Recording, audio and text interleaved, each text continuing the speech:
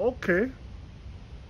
As our title said, is Wode Maya the African YouTube Messiah? Let's talk. One day, a lion and an elephant was standing on the bank of the river Nile. The elephant said to the lion, Lion, I'm feeling strong today.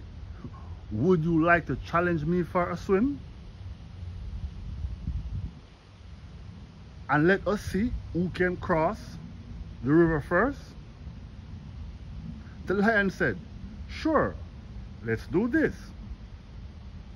The elephant took off and started swimming. But as he was about midway across the Nile, he began to sink. He then shouted in a loud voice, Lion, lion, where are you? Can you come and save me? Because right now, he was at midway through his journey. The lion said, Elephant, arise from the river at once and stand on the bank of the great river Nile. The elephant was now safely standing on the bank of the Nile. He then asks, Lion, who are you really?